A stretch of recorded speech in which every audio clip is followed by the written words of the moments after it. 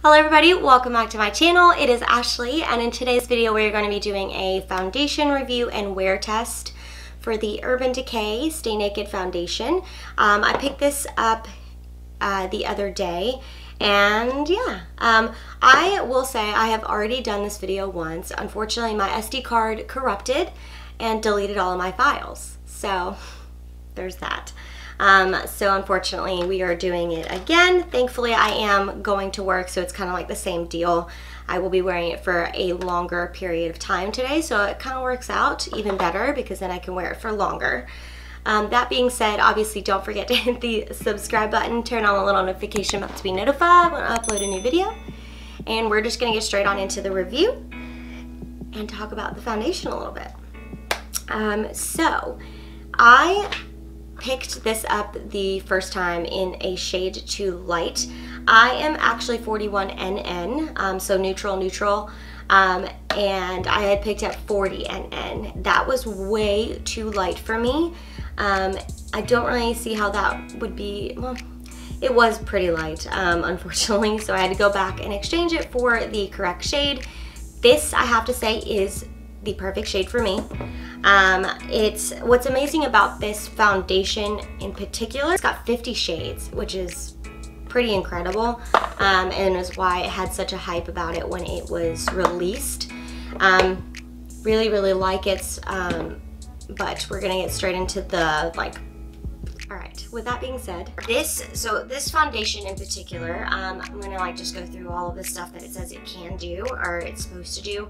Um, it says it's a flexible, breathable, real skin matte finish, which is what I really like. I like a matte finish. My skin is oily, for those of you that don't know. Um, so your girl likes to just keep it really mattified. Um, medium buildable coverage. It does not transfer. It minimizes the appearance of pores, stays true to color, waterproof, vegan formula, and then it does not contain animal derived ingredients or byproducts. Um, so that is well, the box. Um, I will say it really does not transfer. Um, I don't know if it lasts that way. Like, I don't know by like using it on my skin, but I swatched it and it did not get on my sweater um, from swatching it at the store. So that's pretty impressive. But I don't know after how long it stops being transfer proof because obviously I am really oily. So that being said, um, but yes, so like I said, I am shade 41NN and we're just gonna jump straight into actually the application and everything. And yeah. All right, also I have you guys zoomed in. Um, we're gonna get ready to put this foundation on my skin. I've pulled back my hair and everything. Um, I will say, when I looked up this foundation, they gave you three options of how to apply the foundation. Obviously, a brush, um, a sponge, and your finger application. Um, I'm going to be using a brush personally because that's all, that's the only way I use any of my foundations. So we're just gonna do it like I normally do any foundation of mine. They say that using a brush gives you the most full coverage that you can get from the foundation. I'm gonna go in with the e.l.f. Poreless Putty Primer um, because I use a primer with all of my foundations. We're just gonna give this foundation a fair shot. Um, and I'm only going to be applying this on right on my nose and my T-zone because that is where I get the most um, oily and this does a really good job at like hiding my pores. I really like this primer. Also, it is two o'clock in the afternoon when I'm putting this on, so and I go in at work at five and we'll be there till midnight, so yay. Um, the one thing I have to say, so the packaging is so nice on this foundation. Um, it is plastic. It doesn't look like it would be plastic, um, but it is a beautiful, uh, it's beautiful packaging. Um, I really like it. It's travel friendly, which is nice because you don't have to worry about it like breaking or anything. So I like that. Um, it does come with a pump, which is even better. Um, and yeah, so I'm just gonna go ahead and apply this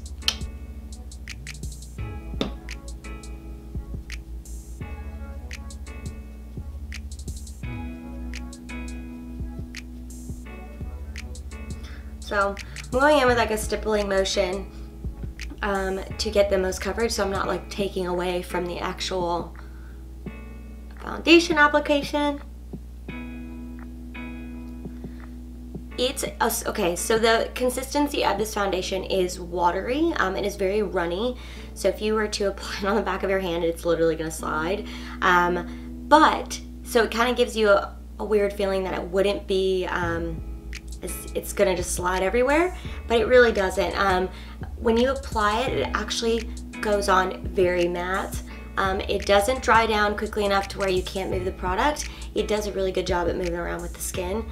Um, it's basically, I feel like this would be basically your, your skin but better.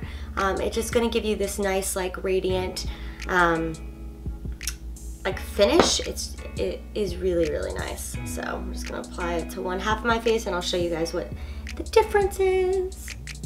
I have to say, this the finish is so beautiful. It literally looks like natural skin. Um, it just looks like my skin is a little bit more airbrushed. I really, really like it. Um, yeah, I really like the, I mean, like, look how pretty.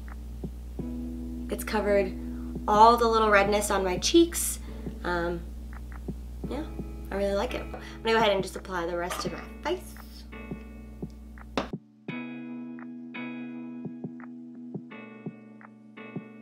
It is a medium coverage. Um, it this is just one layer of foundation on my skin. Get my forehead. This is gonna be the moment when I can get my um, pimples covered.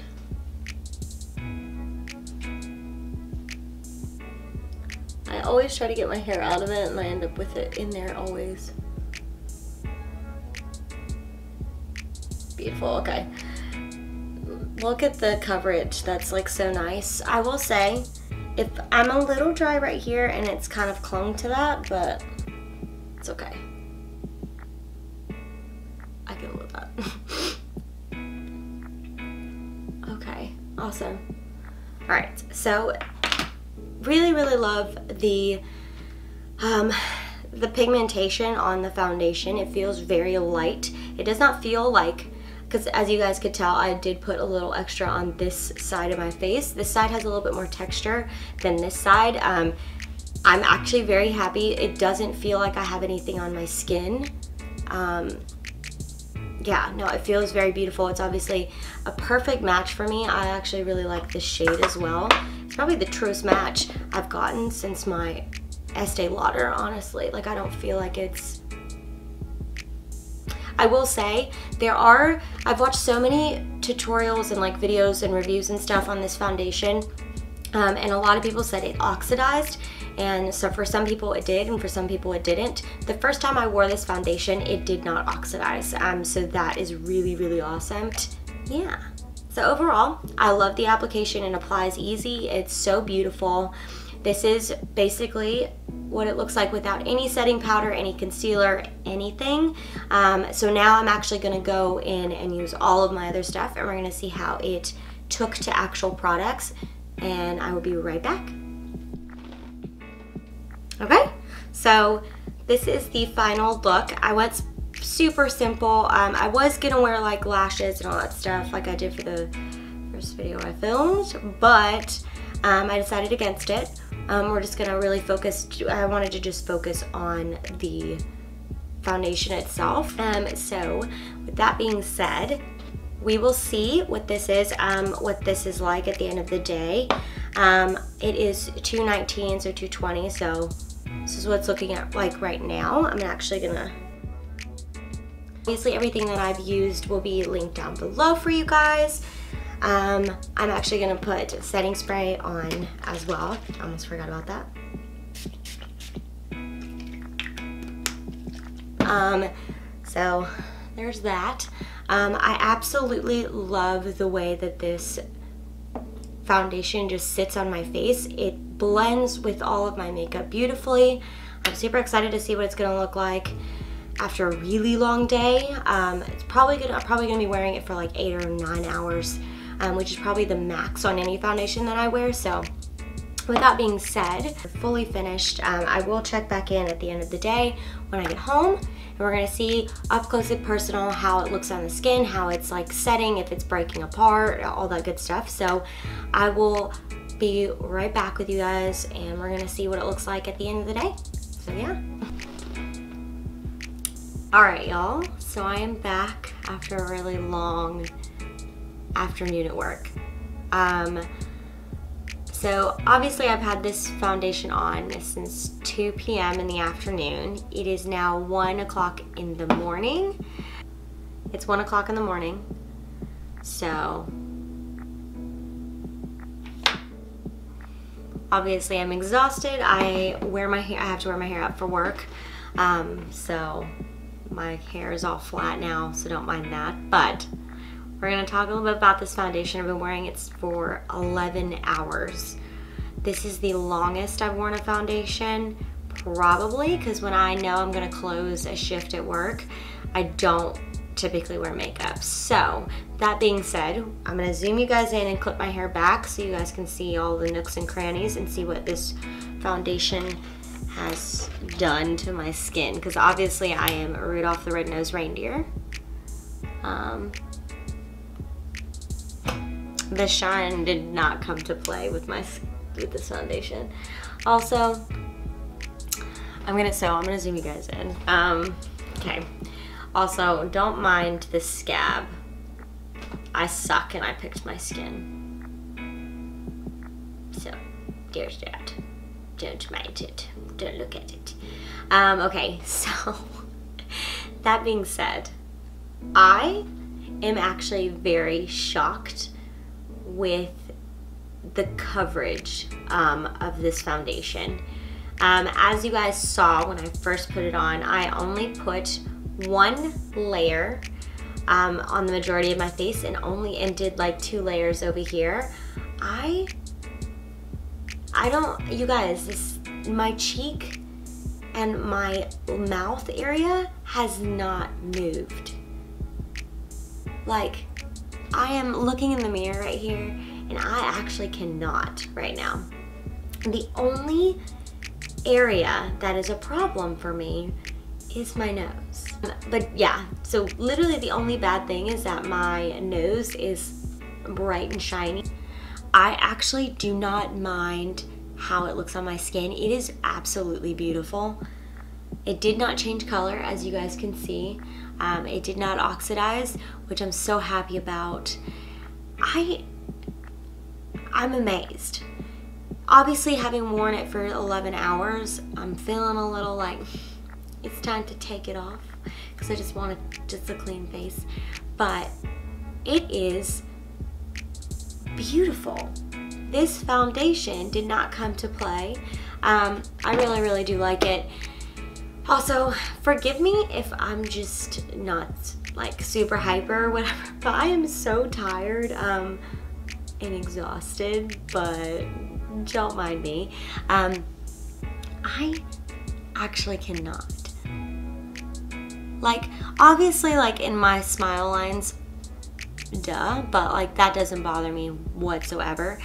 I also have issues with like my my makeup rubbing off because of my glasses. I wear glasses for those of you that don't know. So like when I'm off camera, I am wearing glasses all day, every day. Um, yes, I can still see, but I still have issues um, with things that are far away. Um, so obviously doing makeup is not, doesn't get in the way of that. But anyways, um, but even then, y'all, 11 hours in and this is a beautiful foundation. The obviously the only thing that I have to say about it is my nose. But I now know that I just need to powder my nose better. I'm actually really glad that I had a chance to refilm this video because I got to wear it for three or four hours longer than the original video. So I'm very happy about that. This it's just beautiful. And I'm actually gonna go ahead and put some powder on my nose and we're gonna see like what it does. I'm just gonna use my Becca Hydra Mist um, setting powder and I'm just gonna go on my nose. I am missing some foundation right at the tip of my nose, but for the most part,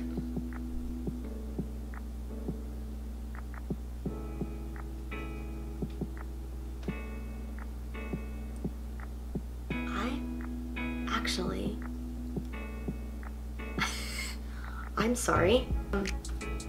I'm actually so shocked. Okay, so 10 or 11 hours wearing this foundation. I went back in with my setting powder and remattified my nose. And I'm actually, I need to zoom in because you guys have to see that.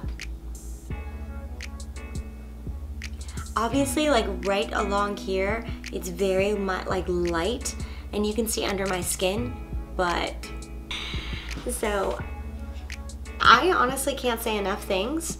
Um, obviously, I waited till the very end to set my face again so you guys could see what it looked like literally walking out of work.